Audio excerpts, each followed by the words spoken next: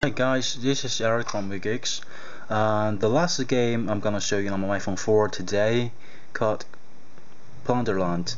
It's a story about, you know, pirates, sea battles. Uh, this game was developed by two uh, game developers based in London location.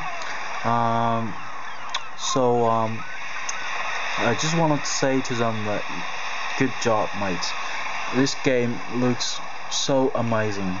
And you see the the, the, the graphics are dynamic the, the whole game's in it.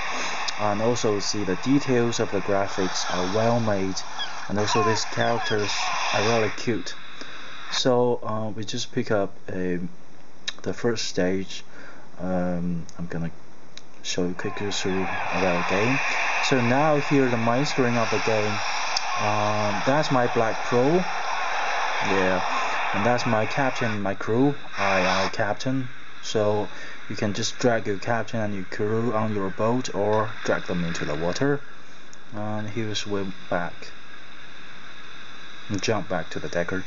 And now I have to cut the rope. Okay let's go. So just use the gyroscope. Okay now here we have use of cannon to destroy the signs. And I've got gold.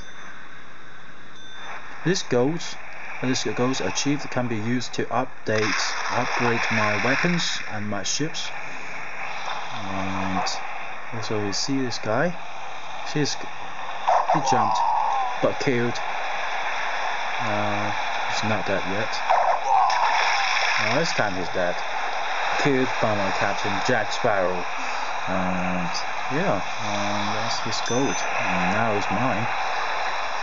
So basically that's it and uh,